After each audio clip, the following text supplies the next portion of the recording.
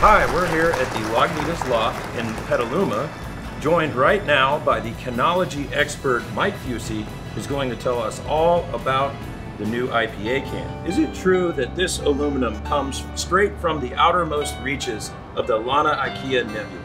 That's right, Jeremy. And then brought here and molded into an ergonomic Firkin, golden apex, and custom splotch pool tabulator.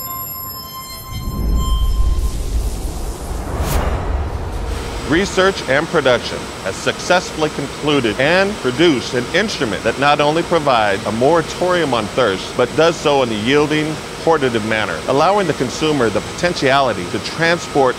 That sounds delicious, Mike. Visit us online here to find 12 pack of these modern miracles near you. Up next, how a tool the size of a key can turn an empty IPA beer can into a fully functional working beer circus.